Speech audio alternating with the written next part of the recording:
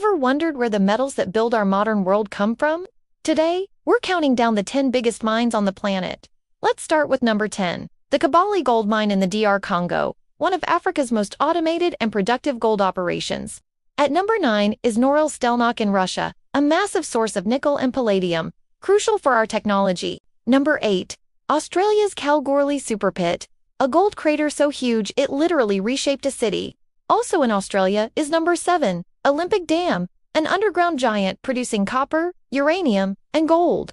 Coming in at number 6 is Muruntau in Uzbekistan, the largest open-pit gold mine ever found. Halfway through, at number 5, we have Carajás in Brazil, home to the highest-grade iron ore on Earth. Number 4 is the Bingham Canyon Mine in the USA, so big it can be seen from space. At number 3, we find the Grasberg Mine in Indonesia, one of the richest gold and copper deposits in history.